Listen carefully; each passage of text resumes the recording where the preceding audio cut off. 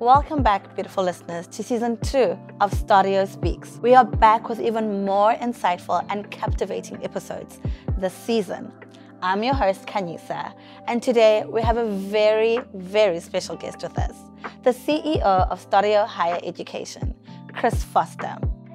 Get ready for an intimate conversation as we dive into Chris's childhood, his journey through education, and his unique story that led him to helm one of the leading institutions in South Africa.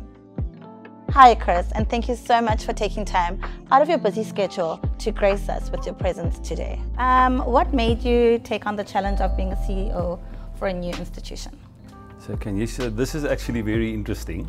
Um, uh, as you know, I was the CEO of Southern Business School, mm-hmm. and then the opportunity came along to be part of Stadio.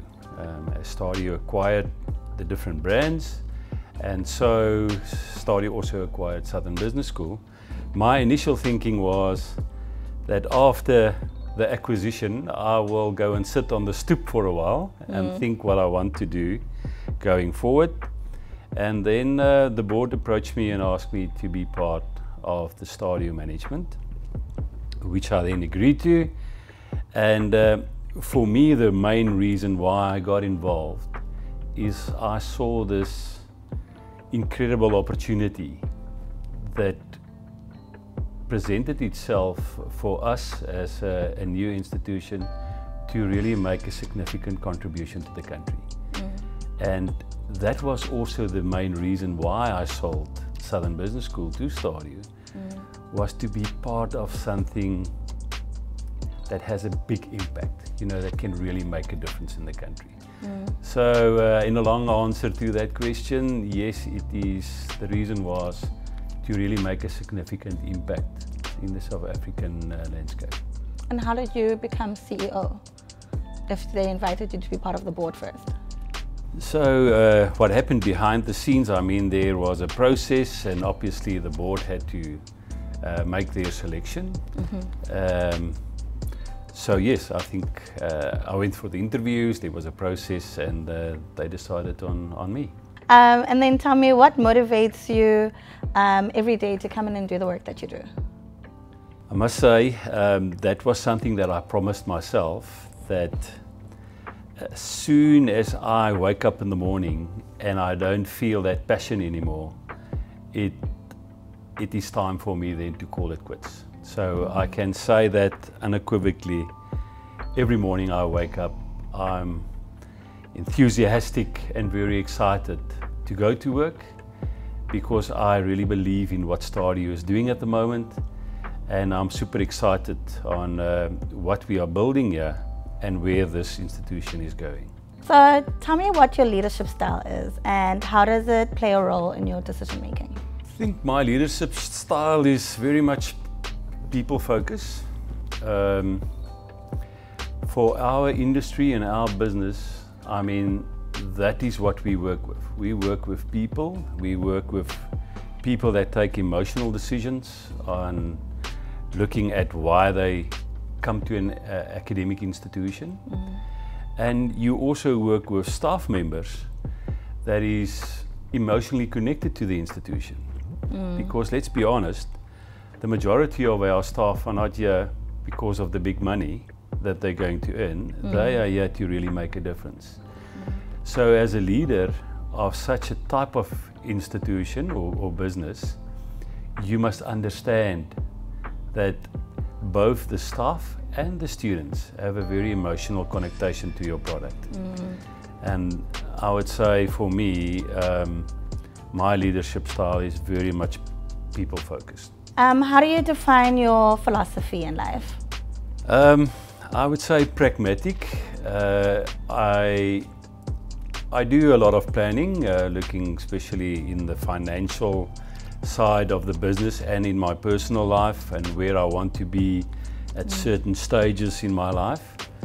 But over the years, I've also learned, especially in my personal life, to to have a more relaxed approach mm. to life and to with my engagement uh, with people in my life. So not always try to plan everything for the next three to five years, but mm. to more go with the flow. To be able to roll with the punches. Correct. okay, great. And considering we live in such a fast changing world, what, in your opinion, are the key factors contributing to success in the, in the educational space? So yes, it is a fast-changing world. We've seen a lot of things happening, especially in the education space. I think one of the biggest disruptors must be AI and mm. how that is being used in the education world. But if you really just look up and take a, a view from the outside in and you look at education in totality, things or the, the core things in education remains the same. Mm. So what do I mean by that? Quality offering, making sure that your programs are programs of quality, mm-hmm. that it is industry linked and that there is value being added to your students after obtaining the qualifications. Mm. Those are the things that will never change. Mm. Um, to adapt with the changes. I see that as part of our everyday life. We have to adapt. But there are certain key aspects in education that that will never change and mm. that is quality value adding really equipping your your students with the necessary skills to make a success with their lives mm.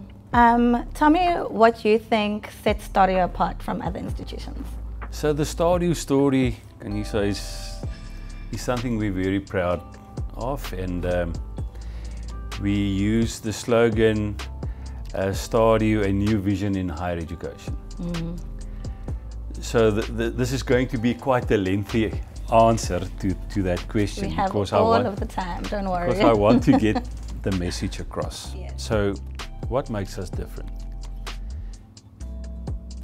The strategy is clear. We want to create a community I call it the Stadio community. And in that community, we want to serve all the community members because all those community members have a direct connection with Stadio. So who are these community members? It's firstly your staff, it's your students, and then as a listed entity, it is your shareholders and all other relevant parties. So for me, we are all connected and involved in the institution and we want to make sure that we get all three these parties to have that special connection and to benefit from the institution. Mm. So I still stand to be corrected. We're the only institution in the world that offers our postgraduate students shares in the institution. Mm. So they become co-owners and shareholders of the institution after obtaining their postgraduate degrees. So there we see that total buying and um, I cement the whole thing of uh, community engagement or, or community um, belonging. Uh, and then we also have a staff share scheme, again, uh, where staff will also then share in the upside of the institution and then obviously you get your shareholders. So in this community we all then share in promoting and building a sustainable institution. Mm. And so it's not just the relationship between the institution and the student, it goes wider mm. than the institution, the staff, as well as the shareholders mm. all become part of this community. And, and that's what we want to get right at Stadio, mm. is, is, to build this community that will feed off one another. Mm. Beautiful. One of our biggest challenges in, in private higher education is to build a strong alumni. Mm. Uh, if we look at our public competition, uh, a lot of us all come from public universities. And a lot of us are still part of those alumni mm. uh, from the institutions where you studied. That nut we haven't cracked yet in the contact, ach, in the in private, private space. So I believe with this whole community that we want to establish, we're going to see very nice long-term uh, traction on creating a Stadio alumni over the years. Tell me how um, Stadio accommodates the needs and expectations of students who are looking for a more personalized and flexible learning experience. So yes, that is something that management is is focusing on and, and trying to get right as we understand the needs of students changes over time. So at Stadio we've we took the route of offering both modes of delivery where we have a contact learning where you will typically have an on-campus experience. Uh, we have seven campuses across the country where students can uh, enroll and, and do their contact learning uh, mode of delivery. And then we also offer the distance learning mode of delivery. So, why the two modes? Um, Stadio stands for widening access, and we believe by offering both modes, you can really live up to that vision of widening access. Why do I say that? Um, it is a fact that contact learning is more expensive Yes. due to the overheads and the physical bricks and mortar that you have to carry. But uh, in the distance learning space, due to the technology that we can use and uh, having students from anywhere in the country, it makes it possible to offer that mode of delivery at lower price points. Um, so there, both students uh, can enroll for any one of Stadio's uh, programs, whether you can afford the contact learning space or if you can't, there is still the option to do the distance learning space. Also to where you find yourself in your life, you know, you you're employed, you have the opportunity to get promotion, but to get that promotion you need to up your qualifications and your skill sets. And there again, the distance learning mode gives you that freedom to study at your own pace um, and getting that qualification that is needed to get the, the promotion that you want. We also look at our curriculum and how we design the curriculum so that we give students the option, both in both modes, to give them more electives, you know, to really talk to their interest in, in the program that they would select. Mm. So that you, you are not limited to only one or two modules, you have a choice of modules mm. to really speak to the students and try to accommodate their interest in the different qualifications. I guess it also gives them flexibility to like manage their schedules. Like let's say if you're a mom and you're working, now you're able to like accommodate two to three modules instead of having like a full semester of like seven modules. Absolutely, and uh, I think uh, is, is doing that right. If we look at our student numbers, it is still 80% of our business is where we have these adult learners, where uh, they balance the, the adulthood, being employed, being a, a parent, as well as getting your, your degree. Um, so yeah, most definitely, I think we, we are doing well in that regard. Um, what are some of your fondest um, passions that you've initiated within the institution? So for me to um, amalgamate or uh, successfully complete the migration of the different brands into one Stadio was a, was a big achievement. Um, I don't think we've done it without hiccups. I don't think we've um, completed the process, but we've come a long way over the last two years. And I think we've really put down something that we can all feel very proud of. To take four institutions with their own histories, their own processes, their own way of doing things for many years into one new uh, setup and environment where everything has changed is, is quite a daunting task and I think we've done very well. So that is without a doubt the one that I would, I would say is on, on top of the list. And then um, another very fond memory was to overcome all the obstacles to put the staff share scheme in place. Um, which was a daunting task when we started with it. um, is something that will also be um, close to my heart forever. Mm. To be able to do that, and then thirdly, the, the staff share scheme. And I'm sure you Uh, must feel so. scheme, sorry. It must be so rewarding to be able to like tick off on your list what you're able to do, and to like see it through at the end. Yes, it, it is really rewarding, and I think that's why I, I've said earlier um, that drives me every day, you know, to, to wake up and to have those lists that I still want to tick off Yes. is what drives you. Mm. And it also speaks to the leadership um, s- skills that you asked me about, where I said it's people focused. So that's Yeah. what really excites me because those, all three, those things that we've just um, discussed of what, what drives the passion Mm. are all actually people orientated. Yes, it is. Yes.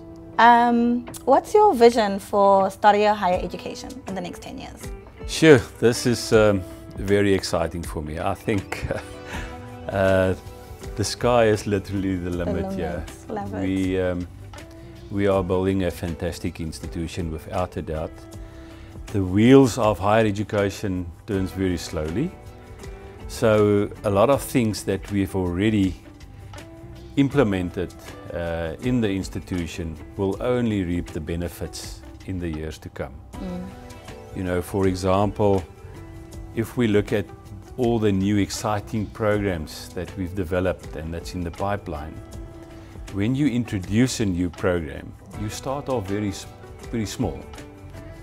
So I think the CHE and the regulator also limits us with a new program. You're only allowed to, let's say, open a program with 20 students. Mm. So you run the full year with only 20 students, but at the same time you carry the whole infrastructure in that year program. for that Mm. new program. So it's only in year three, four, where you have a nice cohort that you really, from a business perspective, start to see the benefits of that, that new program. Mm. And just by using this one example, you know, we have so many new programs lined up Mm. where we would see great uptick going forward in the Mm. business. So that's very exciting. I think we have branded the institution very well in this short period of time. Um, the feedback that we get from the market is that there's a very good uh, trust towards the brand from our students and the broader uh, public. Mm. And that also then, you know, fits well to what we anticipate will happen going forward. Mm. Industry is really embracing and, and working together with Stadio. Um, we are starting with our internationalization and we see very good response from universities across the world where they want to partner with Stadio. So I think yes, we've laid a very, very solid foundation for this institution just to go from strength to strength. Mm. I've um, made no secret about it. I see Stadio as a real alternative to the bigger public uh, institutions in the country. And that's where we should play our role. We want to make a significant contribution to education in the country. Mm. And yes, we want to grow. We want to be one of the biggest higher education institutions in the country that will offer quality education and would really change things in this country and will improve people's lives. Mm. Any new schools the public can look forward to? New schools, yes. Um, we've just started with engineering. Exciting. Yeah, very exciting. I think from a strategic point of view, Mm. Um, it's very good for the institution. We are then looking at other possible schools still to come, things like agriculture. Mm, that's a Um, one. Yes, which, which is exciting. We look um, starting to investigate not a medical school, but more at possible other qualifications in, in that sector, Mm. um, as well as um, humanities. We definitely want to expand. We only started this year, or last year, sorry, um, We've started with our School of Humanities, very small with one qualification, so there's still a lot of scope. And then there's a big focus on our School of IT, Information Technology. That is we really want to establish that school as Yes. one of our flagships going forward. So Very a lot exciting. of effort and focus is coming in that school as well. Very exciting. Very exciting. Okay, and then um, now that we're all shareholders, as you mentioned, thanks to you, um, can you give us any insight of what lies ahead for Stadio Holdings? Yes, for, for holdings, we are starting to become a more mature uh, company, listed entity. Um, a lot of our focus for the last few years was the consolidation and then to go into a very aggressive growth um, period. So growth is definitely on the top of the agenda for another few years. We're mm. far from maturity. Mm. As I've just indicated, we've got so much more new programs coming in. Yes. There's a lot of new schools that we're going to open. There is uh, a lot of opportunity for second income streams. Mm. So there's a lot of things still in the developmental phase for the holdings entity. We have the other two brands also in our group being AFDA, which is a more matured institution, but the growth there will typically come from opening up more uh, campuses for the AFDA brand as its only contact learning. And then very exciting in the holdings group also is, is um, the Milpark brand, where we are establishing ourselves as a leader in online learning, especially in the finance and uh, banking sector. Exciting. So, um, yes, from a holdings perspective, look at growth, aggressive, and then also starting to be more aggressive in return of um, uh, to, to show our shareholders, give our shareholders higher returns on their investments. So, looking at increasing dividends to shareholders over the next few years. Um, share with us what advice you would give um, for aspiring entrepreneurs or future leaders. Yeah, what is the saying? Um, you need to be tough to do business in South Africa. I think it's a challenging environment um, where where we get challenged with things that other people in the rest of the world don't don't really have to deal with. This is like Eskom and load shedding. Yes, we can know them Story all, but of our lives.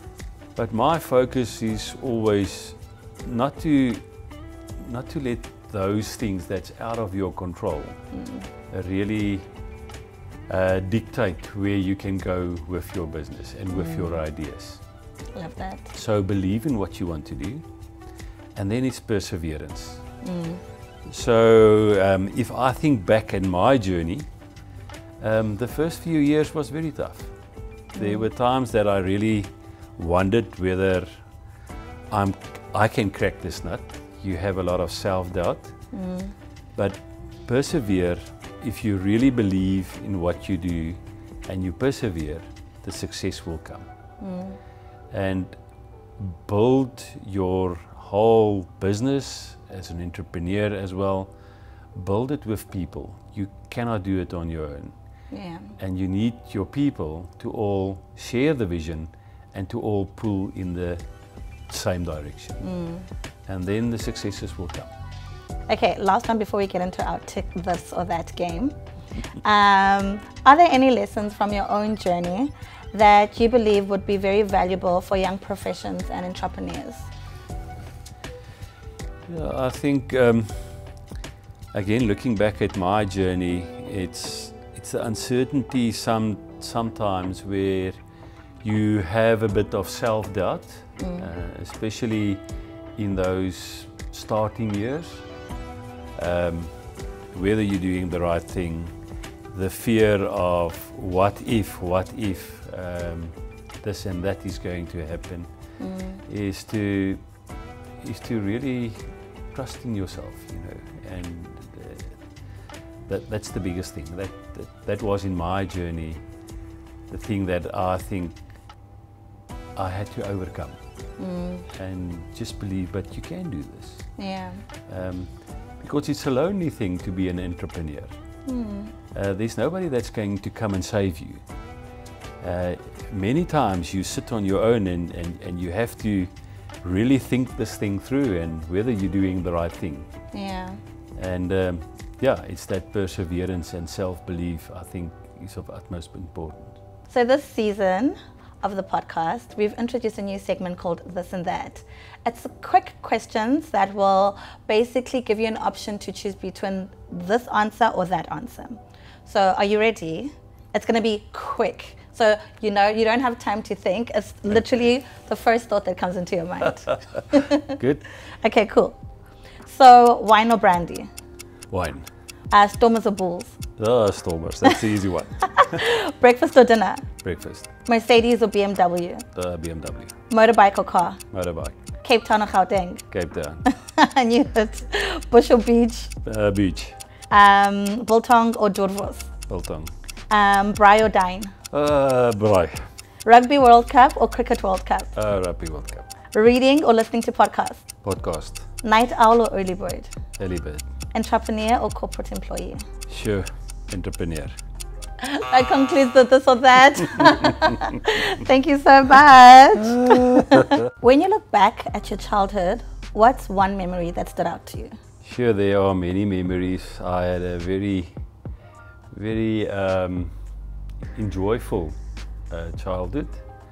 Um, I think the time that we've actually lived in Hartbeespoortdam was something that will stay with me forever. Uh, just the freedom as uh, what I experienced there as a young boy living in Harties was something that I really cherished and it was um, very enjoyable for me. Um, when you look back at your childhood, do you think uh, your parents were strict? Yeah, I would say um, maybe because I was the youngest of the two children, um, I got away with a, f- a few more things than I think my older sister did. Um, so I don't, I don't think I had very strict parents though. No, but you know, at the same time, I was such a uh, who do you say in Afrikaans? We'll say soet you know. Uh, there was no no issues with Chris, you know. So I, I didn't have all that strict parents. Um, uh, that's not something that that sticks with me that they were strict. No. Okay. I had uh, very good memories with my sister. We were quite close uh, growing up together. Um, as a typical older sister, she, I think she also thought that she was uh, my second mum. Course. So yeah, so um, it was my mission to try and make it difficult for her as well, and uh, that created a lot of fun in the house for me over the years. It wasn't so funny for her, and uh, luckily my parents could see the the fun side in it, um, really making it tough for my sister to take this second mum role in the in the house. Lovely. And uh, do you have a song that reminds you of your childhood? Nothing comes to mind immediately. Um, I actually love music. I listen to a lot of music, but something that I will a connection with my childhood. Maybe glory days from Bruce Springsteen. Yeah, I, d- I don't know. No, I, What's the memory on Glory Days? I, I just have to to say that you know I had very enjoyable childhood, a very happy child, um, growing up in a very protected environment, in a family that um, we didn't. We were a very moderate family. I would say a, a middle class to a lower lower middle class, um, but with a lot of love and a very close family. So yeah, it's it's all good memories That's lovely. connected with a song, I must I must think about that. That's not a problem. Um, what was something you were very afraid of as a child? Not making the A rugby side, I would think. You know, rugby was so important for me. I, I could just think, yes, if I don't make the school rugby side, that would have been the end of my world. Did you make it? Did you make the Yeah, A I team? must, I must uh, say that I am very blessed. I um, actually had a very good schoolboy rugby career. Always in the A sides, 99% of the years I was the first team captain or the A side captain that I played in. So yeah, that was basically a very important part of my life. so if they dropped me from the A team, I think that would have been a very um, stressful experience. Yeah. Did you go on to play rugby in university? yes, I did. I um, I played Craven Week at high school, which was the the goal that I wanted to achieve. And then after I played uh, the under age groups, under 19, under 20, under 21 for the Lions uh, up there in Gauteng.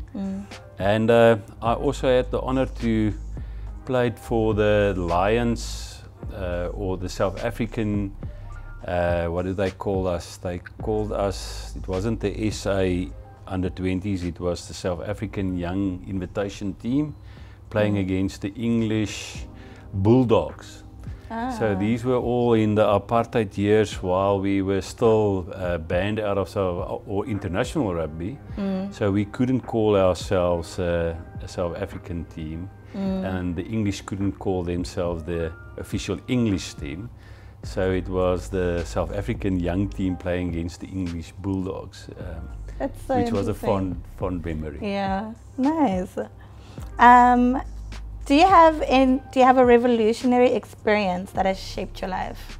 I think um, starting Southern Business School and um, really at that stage, uh, I took on the only real well known distance learning institution being UNISA. And then to start at such a small scale, taking on this giant, where mm. everybody said to me, this this concept of distance learning and remember now this was in 1994 mm. was never going to be successful. Mm. Um, and that has taught me a lot about myself because I wanted to make a success of it. I put all my belongings all my resources into it so it was very stressful because I've put a lot of pressure on my family and my extended family on um, having everything that I have invested into this and then having to make it work. Um, I think shaped me for the rest of my life because it was that perseverance. It's not an option to say it can't work. Yeah. And that's what I also try to to teach my children, you know, if you take a decision, this is what you want to do in life, this is the passion that you have, is to persevere. And don't opt out uh, when things start to get tough. You, you need to work through it. And um, if you focus on the right things, the success will come. Beautiful. I love that. Um, tell me what you would give, um, what advice you would give your 30 year old self. Sure. Stop worrying about the future and enjoy the 30s um, more. Uh, but again, you know, I ask myself this type of question often. Uh, what would have, what would you have changed if you can do it over again? Yeah. And um, I think up to now, I'm still very young, but I had a very full life up to where I am now. I really did things. I always tried to have a balance. I forced myself not just to focus on just work, but to have a good balance. And I've, I've done quite a, while, a, lot of things. I've traveled um, extensively. I've done a few things in my life. Um, I work. I had. I met great people. I had great times with people uh, in, in this journey. So, yeah, I. There's nothing that I regret. Let me say that. Um, but it's important to live in the moment as well, and Yeah. not or not to worry too much about, About the, the future. future. If you do things right where you are, the future will also fall in place. Beautiful. Okay, last question. What is great about your life right now? I have a lot of things to be grateful of. Um, being part of Stadio is, is one of it. Um, as I say, I'm so excited on what we are doing here at Stadio. And I really believe so much in our vision and the impact that we're going to have in this country. It's, it's going to be something to be very, very proud of. I'm very proud of my, my family and my children. Um, yeah, it's something that's very close to my heart. Um, and then to be a South African, you know, it's a tough time for us all here in, in, in the southern tip of Africa. But um, I've seen it every year. You know, this year I went to France for the World Cup, and we're just a special bunch of people. And uh, every time you sit there in the stadium with your green jersey on, and we see South Africans from all walk of life coming together, mm. it, it just makes you very, very proud to be part of South Africa and to be mm. a South African. Amazing. A heartfelt thank you to Chris Vorster for gracing us with his presence and sharing his incredible journey. If you enjoyed this episode, don't forget to subscribe, rate, and leave a review. As we wind up this episode of Stadio Speaks, we hope you've gained valuable insights into the world of education and leadership. Until next time, stay curious, stay inspired, and keep learning. This is Kanisa signing off for Stadio Speaks.